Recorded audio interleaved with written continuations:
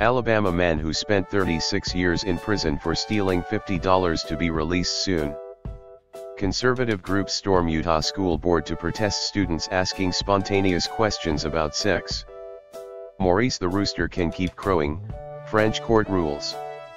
Tennessee Catholic school bans Harry Potter books over fears they contain actual curses and spells. India plans to create a breed of super intelligent kids using cow urine. UK Prime Minister Boris Johnson says he'd rather be dead in a ditch than delay Brexit. Jussie Smollett lawyers, actor unaware alleged attack would trigger extensive investigation. Burglar cooks breakfast, tells resident go back to sleep. Drugs awarded to Peshawar cops for good performance. Atheists have right to their opinion, Madras High Court.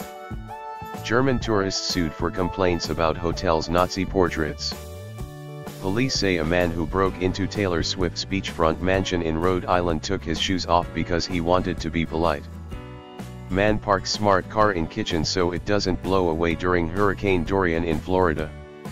Ohio woman arrested at Philippines airport after carrying six-day-old baby in bag.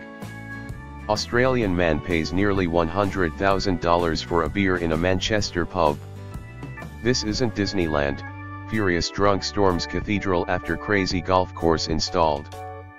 New York's new rat plan, ply rodents with alcohol and then drown them. CDC warns people not to kiss chickens. At 74, Andhra woman becomes the oldest ever to give birth. Family's EasyJet holiday flight is delayed, so dad flies the plane to Spain himself.